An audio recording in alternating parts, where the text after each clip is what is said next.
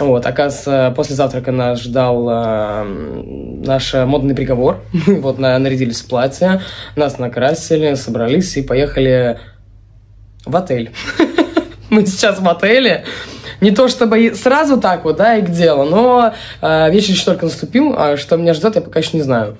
Девчонки все уже отстрелялись, я вот сижу, жду своего Антонио, который, видимо, задерживается очень, и э, я сижу и жду своего кавалера, в общем, так получается.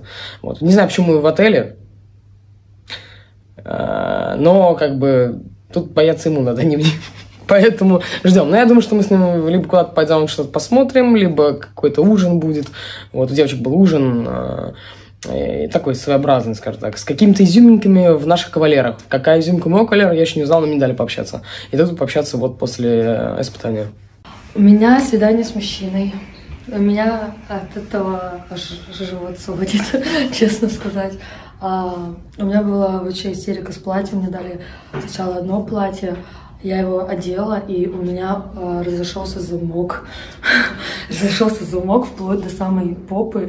я вот так вот схватила платье и побежала в комнату. Потом мне дали очень стрёмное, некрасивое бархатное платье, оно было в пол, оно было фиолетового цвета, очень, ну, прям это.